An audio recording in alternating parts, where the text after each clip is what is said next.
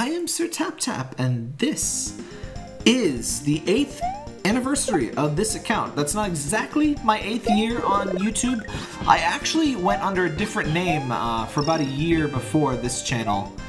Um, Tap Tap the Magnificent was actually what it was, and uh, if you go way, way, way back in my old videos, um, you can actually hear me address myself as that. Uh, don't watch those old videos. They're I have a terrible mic and I don't know what I'm doing. Anyway, to get this out of the way, this is Aesthetic Land, a vaporwave Mario hack by um, by uh, Super Stivboy for the vanilla contest in uh, on Super Mario World Central. I just figured it would be relevant because you may not know this, but when Little Tap Tap started his YouTube channel many, many moons ago, um, it wasn't his first video. My first video was actually Kirby's Dreamland, and I think one of the second ones was uh, Gish, actually. I started indie games real early. Um, but one of the things I did, go left. One of the things I did was Super Mario World hacks. And um, Vaporwave wasn't quite a thing then yet, there yet, but uh, I just love the look of this hack. And I was actually going to do the steamed... Um, Super Stivboy also made a steamed hams ROM hack. Oh, good. Good start. Um, but the, he disappeared the steamed hams hack. Um, I don't know if Super Mario World Central put the kibosh on that or what happened there. But I wanted to just do that for a little joke video at some point. But I guess it got took down, so... Can you feel? Are you Koop? I think you're Koopas. Yeah, you're Koopas.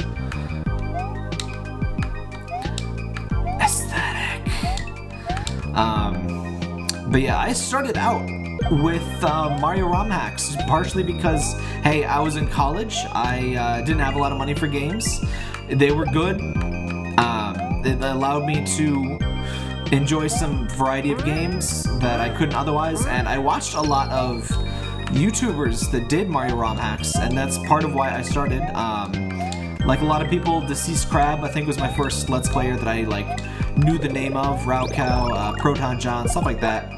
Um, I particularly remember watching lots of uh, Goron, or not Goron guy, wait. Um, Goron guy's the speedrunner. It was a different Goron, like Goron 50, I think? It's It has been a long, long time, and I will admit, I, I kind of forget some of the channels that I watched back then, but was, there was a lot of Mario hacks, and um, that's kind of what got me started. And then there was also the fact that, you know, uh-oh. Guys, how do I get out of that? The controller's being weird. It, diagonals. This game doesn't like diagonals? It's like if I go up and left, it doesn't like want to. Huh. That was weird. Um. Anyway, oof. one of the nice things about, you know, doing uh, ROM hacks was that, you know, I would review people's new ROM hacks, test them out and stuff, and um, that kind of just let me, oh, that's a, huh, it's a thwomp, um, that would kind of let me get, you know, a guaranteed audience of at least one person, which honestly back then, you know, just having anybody watch my video was really nice. I would see, like, you know, 10 views, I'd be like, wow, 10 people watched my video, and then even though, you know, like two of those views were myself, and I'm sure half of them didn't even watch more than like three seconds, but, you know, it's still a lot to me. I like, I really like that, the use of the moon, you know, this, it was the sun, now it's the moon. Midway. I will say, by the way, I, I non-ironically really love Vaporwave. It's such a good look, great colors. Um, it's um, it's just it's really chill, which I think, honestly, one of my favorite. Uh, something's not right with the controls, but I might have just mapped something wrong. I don't know. I'm also using an Xbox One controller, which feels sacrilegious, but whatever. Um, yeah, I, I, just really like Vaporwave. I honestly, I think it looks better at an aesthetic level and has more interesting, like, cohesive interestingness than like most major art movements. I know. I know there's an art major out there who is super upset now. Are, are we even still, are we still, you know, in the contemporary, woo? Are we still in the contemporary era? Is that just gonna be what, what it is forever?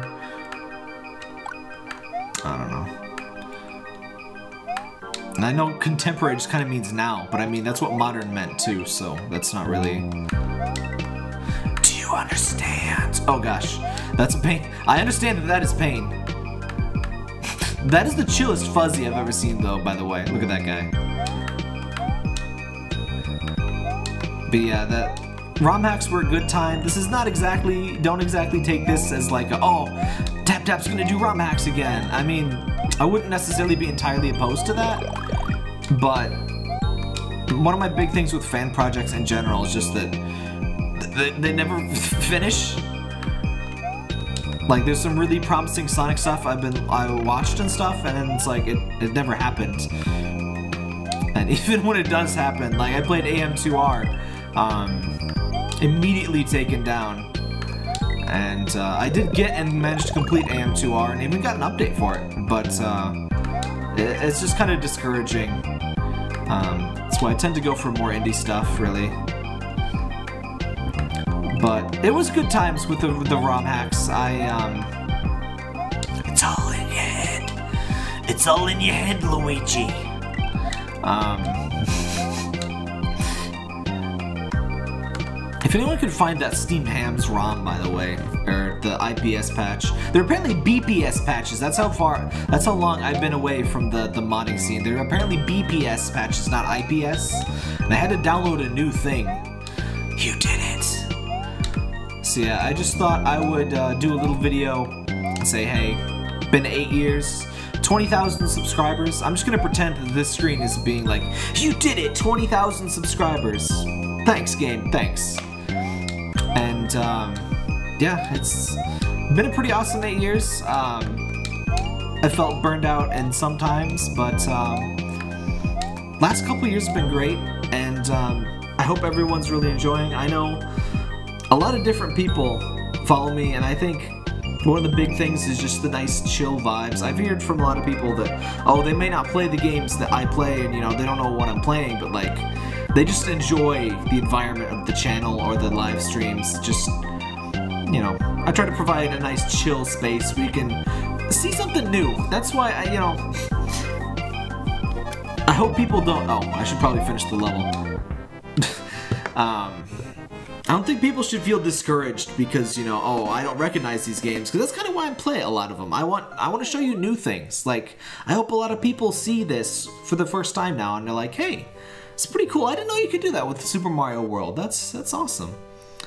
Um, yeah, so eight years, I guess.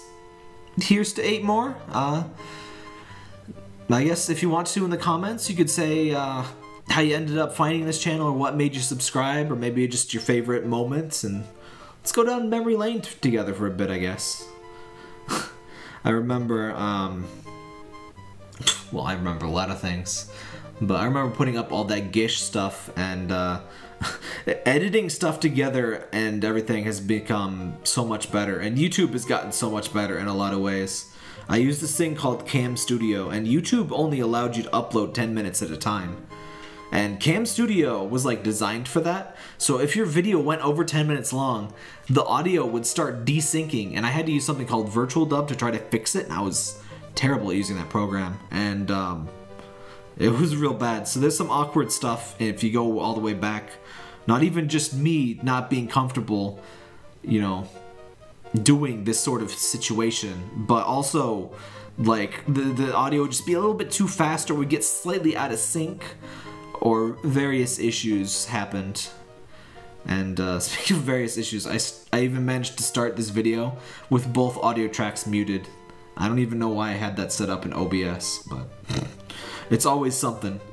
anyway, thanks for a great seven year or eight years, however many years. Thanks, thanks for all the years. And uh, here's to eight more. I already said that, but you know what? Here's to 16 more. We'll we'll double it. Call this number now. Double your money, etc. See everybody.